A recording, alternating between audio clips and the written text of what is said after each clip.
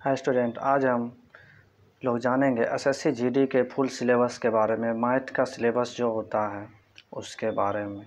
जो मैथ में किस चैप्टर से कितने क्वेश्चन एसएससी जीडी में पूछे जाते हैं, उसके बारे में आप लोग को जानकारी देना चाह रहे हैं, क्योंकि एसएससी जीडी में मैथ में टोटल 25 नंबर का एग्ज़ाम होता है, जो तुम, जिसमें आप लोगों को पहला जो सिलेबस में से मैथ का चैप्टर में से पूछा जाता है क्वेश्चन, वो पहला है नंबर सिस्टम।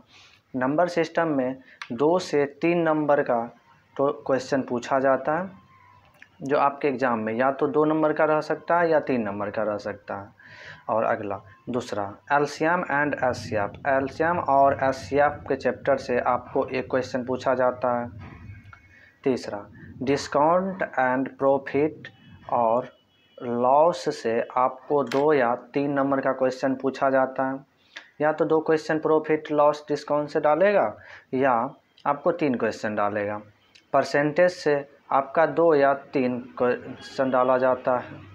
सिंपल इंटरेस्ट से आपका एक क्वेश्चन डाला जाएगा। और अगला, छठा में कंपाउंड इंटरेस्ट से आपका एक क्वेश्चन डाला जाता है। सातवां में रेशियो एंड प्रोपर्शन से आपको दो क्वेश्चन डाला जाता है। मिक्सचर एंड एलिगेशन से या तो ज़ीरो या एक, या तो आपका क्वेश्चन डाला भी जाता है और नहीं भी डाला जाएगा। डाला जाएगा तो एक क्वेश्चन डाला जाएगा, नहीं तो नहीं भी डाला जाता है।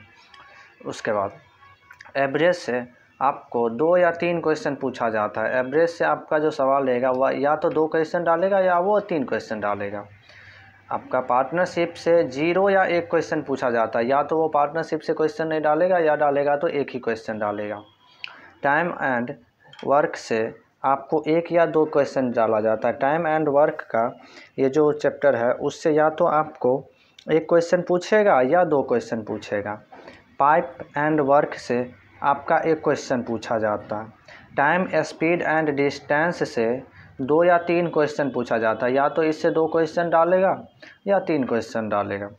बोट एंड स्ट्रीम से आपको एक क्वेश्चन पूछा जाता है। मैंसुरेशन से दो या तीन क्वेश्चन पूछा जाता है। मैंसुरेशन से मिनिमम दो क्वेश्चन या ज़्यादा से ज़्यादा वो तीन क्वेश्चन डाल सकता है। मिसलिनियस से आपको एक या दो क्वेश्चन पूछा जाता है, जिसमें आप लोगों को, जिसमें आप लोगों को पच्चीस में पच्चीस क्वेश्चन पूछा जाता है एग्ज़ाम में, जो एक सौ नंबर का एग्ज़ाम रहता है, उसमें से आपका पच्चीस क्वेश्चन मैथ से पूछा जाता है।